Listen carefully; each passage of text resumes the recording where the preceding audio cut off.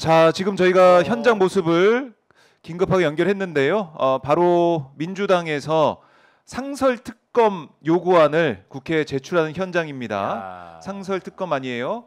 자, 지금 보면은 이 세 가지를 적시를 해 놓은 상황이죠. 수사를 해달라는 내용을 세 가지를 적시를 해 놨습니다. 김용민 민주당 의원, 김승원 의원, 박주민 의원 함께 국회 의안가로 들어가고 있습니다. 자, 결국에는 상설 특검까지 이제 가는 거죠. 마약 수사 외압 의혹, 삼부 토건 주가 조작 의혹, 국회 증감법 위반 사건에 대해서 상설 특검으로 수사를 해달라. 특별검사 수사 요구안이에요. 뭐 이거는 국회 이제 과반 의석을 민주당이 가지고 있으니까 뭐 네. 통과되는 것은 확실하고 네. 이건 원래 있는 법안이니까 거부권 행사 못하는 거. 못하죠. 이거 되는 거죠. 되는 네. 건데 일곱 명의 이 특검 추천위가 글쎄요. 뭐 사실은 야당에 유리하게 특검이 추천이 되지 않을 거기 때문에 사실은 그럼요. 거기에 대한 핸디캡은 있지만 그럼에도 불구하고 특검 상설 특검을 가동해서라도 지금 이 마약 수사 외압 의혹이나 삼부 토건 문제 이런 것들은 수사를 좀 해달라라고 요청을 하고 있는 겁니다. 자 지금 오마이 TV 생중계 현장 모습을 함께하고 계십니다. 지금 어, 생생하게 현장 모습 보고 계신데요. 자 정지하면 아닙니다. 지금 사진 찍기 위해서 잠깐 새 의원들이 잠깐 정지 자세를 취하고 있는데 정지하면 아니고요. 특별검사 수사 요구안 이걸 이제 뒤에 카메라 기자에 찍어야 되기 때문에 네. 잠깐 정지 포즈 취하고 있는 모습이고 자 이게 마치 얼음 얼음땡하고 있는 것처럼. 예 네. 얼음 하고 있는 것 같은데요. 생각보다 좀 길게 하네요. 얼음을. 아 민주당 잘하고 있네요. 충분히 이거는 다 이제 보도가 돼야 됩니다. 저는 저렇게 해가지고 한 상설 특 검을 한 12개 정도는 해야 된다. 아하, 워낙. 상황이 백화점 신상처럼 쫙 이렇게 아. 나오기 때문에 자, 비리가 한번 말씀 한번 들어보죠. 김용민, 박주민, 김승원 의원 지금 취재진 앞에 섰습니다. 듣고 오겠습니다. 아, 저희가 방금 음, 상설특검법에 나오, 나와 있는 대로 국회 본회의 의결을 통해서 수사 대상을 특정할 수 있는데 아, 수사 대상을 특정할 수 있는 본회의 의결 안건을 제출했습니다. 어, 저희가 오늘 제출한 안건은 어, 안건에 포함된 수사 대상은 크게 세 가지입니다. 첫 번째가 그 마약 수사 외압 의혹 사건과 아, 구명 로비 사건, 두 번째가 삼부토건 주가 조작 의혹 사건, 그리고 세 번째가 아, 22대 국회에서 국회 증감법 위반 행위에 대한 아, 수사. 이 세 가지를 수사 대상으로 해서 특검법을 아, 특검 그 수사 대상 결의안을 발의를 했습니다. 혹시 뭐 질문 있으시면. 국회 규칙 개정안도 내실 걸로 아는데 네. 연관해서 적용된다고? 네, 아마 국회 규칙안이 먼저 개정이 되고 어, 또 이 안건은 법- 그러니까 국회 규칙안은 운영이고요. 이 안건은 법사위에서 처리를 할 예정입니다. 그래서 아마 국회 규칙안이 먼저 개정되고 나서 이 안건이 처리될 거라고 저희는 생각하고 있습니다. 또 혹시 다른 질문 있으십니까? 네. 네, 사실 규칙 개정안 관련해서는요. 네. 좀 대통령이나 대통령 부부를 단서 조항으로 달면서 좀, 좀 지역적으로 되는 게 아닌가 하는 생각도 드는데 개별 특검법을 발의하지 않고 규칙을 바꿔야 했던 이유가 있을까요? 음, 개별 특검법은 별도로 저희가 추진하고요. 이건 병행하는 개념인데요. 둘다 똑같습니다. 우리 특검법도 그렇고 상설특검법에서 규칙 개정하는 것도 마찬가지인데 대통령의 이해 충돌 문제를 해결하기 위한 입법적 조치들이라고 보시면 좋을 것 같습니다. 사실 대통령이 지금 거부권을 행사하는 것은 이해 충돌의 전형적인 모습이라 어, 거부권 행사 한계를 벗어났다라는 평가들이 주류를 이루고 있는데요.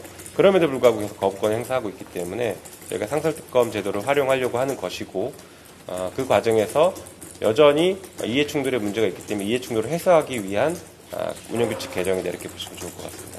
혹시 사실은 뭐 법을 개정할 경우에는 알다시피 이해 충돌됨에도 불구하고 자꾸 거부권을 행사하니까 그것을 좀 어, 뚫어낼 필요가 있었던 거지 않습니까?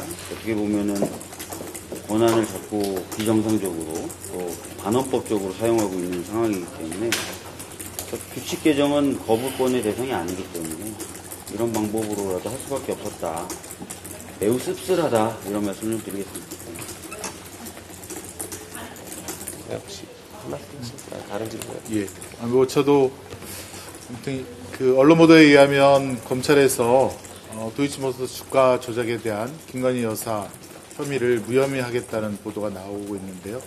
도대체 어느 정도의 증거가 더 있어야 기소를 할 건지 답답한 심정입니다. 다행히 이번 상설특검법에 삼부토건 주가 조작에 대한 것도 수사 대상으로 삼았다는데 저희 법사위 특히 이제 법안 일소위원장으로서 아주 명백 명확하고 또 깔끔하게 이 상설특검법을 통과할 수 있도록 최선을 다하겠습니다. 이상입니다.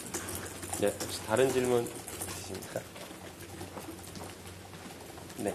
근데 그 두 가지, 세 가지를 왜 일부러 약간 좀 떼서 하셨는지 궁금한데 다 사실 다 포함을 해도 되는 내용인데 음, 이제 네. 일단 상설 특검과 저희가 그동안 추진해왔던 특검의 가장 큰 차이는 수사 기간 그리고 어, 특검 조직의 차이가 있습니다. 상설 특검은 수사 기간도 60일이고 어, 수사 조직도 어, 협소하거든요. 작거든요. 그러다 보니까 상설 특검에서 지금 논의되고 있는 김건희 여사와 관련된 모든 사안을 다 수사 대상으로 삼기는 어려울 것 같고 어, 그래서 어, 좀 독립돼 있는 것으로 보이면서 그리고 이종호 씨가 둘 다 연관돼 있습니다. 연관돼 있는 이 사건을 아, 상설 특검 대상으로 먼저 삼았다 이렇게 이해하시면 좋을 것 같고요. 나머지 범죄들은 다 여전히 특검법에서 저희가 다룰 계획입니다. 혹시 나머지 범죄들도 상설특검을 꼭 잘라서 추가될 가능성이 있나요? 지금은 아직까지는 그런 고려는 하지- 하고 있지 않고요. 어, 일단은 저희가 그냥 기존 특검법에 다 포함시킬 계획만 갖고 있습니다. 현재는. 제가 요거 하나는 좀 말씀드리고 싶은데 상설특검법 관련돼서 우려가 하나 나오는 게 과정을 거치더라도 대통령이 임명을 안 하면 어떡하냐 이런 말씀들을 많이 하시는데 법상에는 임명하여야 한다라고 돼 있다는 건 다들 아실 거예요. 그래서 만약에 대통령이 임명을 안 하면 법률 위반이 되는 겁니다. 그 점이 또 중요한 의미를 갖고 있다는 말씀 좀 드리겠습니다. 네. 그러면 이 정도 마쳐도 되겠죠? 네. 수고하십시오. 네, 고맙습니다. 자, 민주당에서 상설 특검안을 국회에 제출했습니다. 김건희 여사 의혹에 대해서 상설 특검으로 좀 돌발해 보겠다라는 건데요. 변호사님 어떻게 보셨습니까? 우선 저는 예. 뭐 상설 특검을 의- 이제 시작을 처음 하는 건데 이게 굉장히 그 상설 특검을 추천하는 절차 자체가 사실은 여야 합의거든요. 네, 그러면은 뭐 날카로운 특검 임명할 수 있겠냐라는 한계가 음, 있어서 음. 전 여기에 너무 의존하는 건 반대인데 아하. 그래도 일부 활용할 필요는 있다. 지금처럼 아예 꽉 막혀 있다. 있는 국면에서는 예. 마중물 정도라 도 이 상설 특검이 역할을 해주면 좋겠다는 생각이 들고 네. 지금 현안이 너무 많잖아요. 윤석열 대통령을 겨냥한 특검도 있고 김건희 씨를 겨냥한 특검도 있는데 네. 사안도 너무 많은 거예요. 그럼 여기에 대해서는 저는 네. 조금 정리할 필요가 있다. 아. 그래서 저는 윤석열 대통령 현직 때 발생한 범죄 음. 혐의 네. 여기에 대해서는 전 야당 추천 특검을 계속 고수하는 게 맞다고 보고요. 음. 예를 들면 뭐 주가 조작 같은 경우는 현직 이전에 발생된 사안들이거든요. 아, 그렇죠. 이런 것들은 뭐 상설 특검이나 아니면 음. 뭐 삼자 특 추천 특검을 양보하는 한이 있더라도